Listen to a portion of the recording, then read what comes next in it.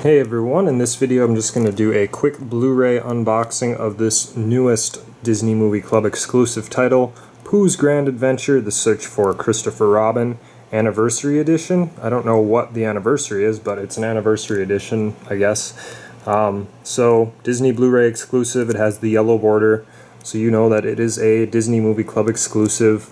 Um, this will be just like the rest of them. Nothing special, no bonus features. Just a very bare bones Blu-ray release, though it is cool to have it on Blu-ray nonetheless.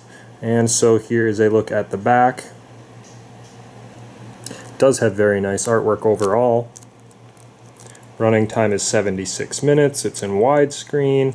Um, that's about all there is to say, so let's go ahead and open it up.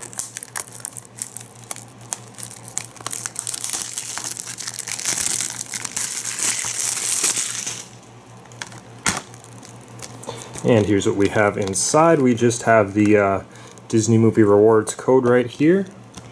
And then the Blu-ray is on the right side. And really, that's about all there is to say about it. Nothing else included, just the movie, no bonus features.